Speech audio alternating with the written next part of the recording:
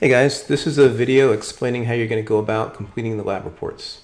So we're in a Canvas um, homepage down at the laboratory module right here. Um, for each of the experiments, um, it's going to look like this. It's going to start out with one or more links to videos of me performing the experiment and explaining what's going on. Um, definitely, definitely watch those, maybe take notes. You might even want to have up, um, the laboratory report open or, or maybe the procedure open um, as you're you're watching that, so that you know like where all these numbers come from. Um, so I'm not going to follow that. But that just takes you to YouTube where the videos are. Um, the procedure right here. So you guys, you're not going to actually do this. Um, that's this is just you know if you were you know we were on campus, this is the procedure you would have followed. That's what that's what this file is. Might be useful if you want to go back and see where some of the numbers came from. I talk about the theory in the top two, so if that helps you, that's great. Um, then after that, after the procedure, um, there's the student data. Okay, so what you do, okay, so this is where you get your numbers that you use to complete your lab report. So click on this guy, open it up, and it looks like this. Find your name, okay, and each of these um, columns um, has a piece of data for you. I'll show you what I mean by A1, A2, A3, and all that. These are the units, degrees Celsius, um, for these. Notice, okay, there's, there's, there's multiple pages. The second page, it's just continuing down, different names. Then on the third page, we start again at the top, but now we have different data, A6, A7, A8, and so on. Continue on, and then the last two pages, the last set of data, B4 through B10. So these um, cells here, the ones that um, have, for me, it looks blue, um, this is actually a link to a picture of a thermometer.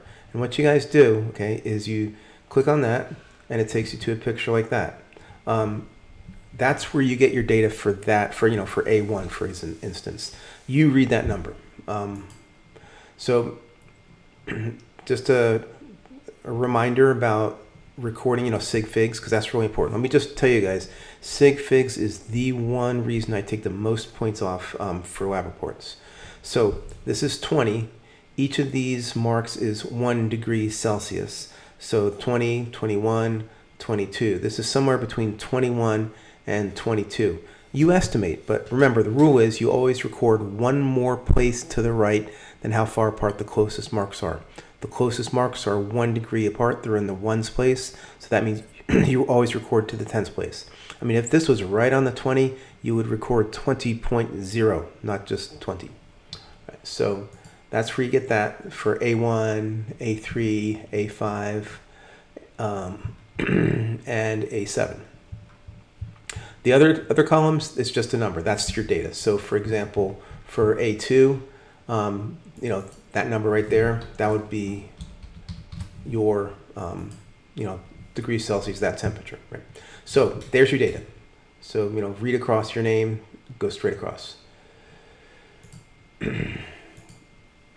Then, okay, with that, you use that data and you complete the laboratory report. So that's this link right here. When you click on this, okay, um, when you're ready, you'll be able to submit the assignment there. It'll just say submit assignment for you. But you click on this and now, please guys, remember um, to look at that video where I tell you how to submit the lab report. Follow all those steps.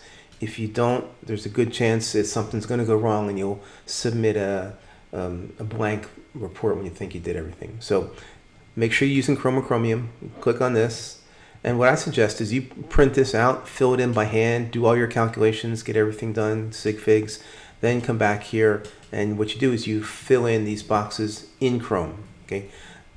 Do not navigate away from that page. You'll lose everything that you wrote. So, so you put your name, not mine, right? Um, so let's say um, I go here. If I were to navigate, I'd, I'd lose that anyway. So whatever you read from that picture for A1, let's say it was 23.4.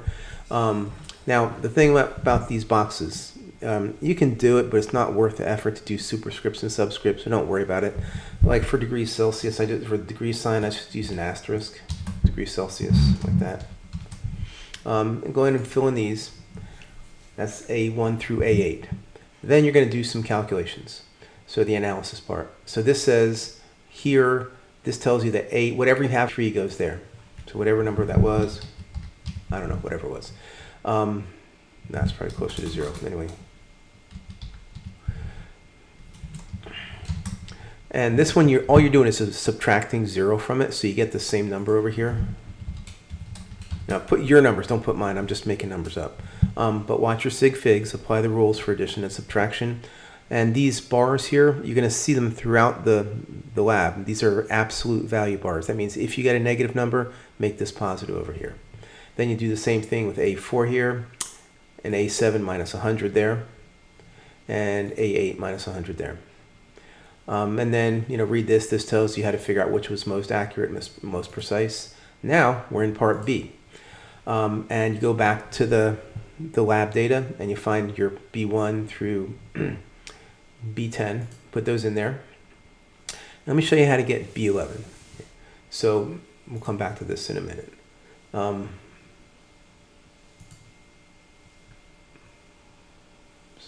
go home, not assignments. So when you look at, actually this is one reason here, the procedure, okay, so you're gonna have to go guys into the procedure to um, get your um, your B11. And that's referring to this table right down here. Okay, so this is the table you use for B11. What you do is you find your temperature of, of your water. Um, for example, it won't be this, but if you, your temperature, you know, your B10, the number you have for B10, that's the temperature of your water. Find the ones place here. So, you know, say it was 14.7 degrees Celsius. You find the 14 here, the tens place here, the 0.7, and where these two intersect, that number right there, that's the density of water at your temperature. Um, do not round this, use all the sig figs. So there's six sig figs in all these numbers. Make sure you have six sig figs. And the units are grams per milliliter. All right, so that's where you get your B11. It's gonna be six sig figs, it's gonna be grams per milliliter. And then you go on and you do some more calculations, watch your sig figs. Um, and that's pretty much it. So that's how you guys are going to do the labs. If you have any questions, let me know. Send me a, a message or ask it on the discussion. Um, but there you go.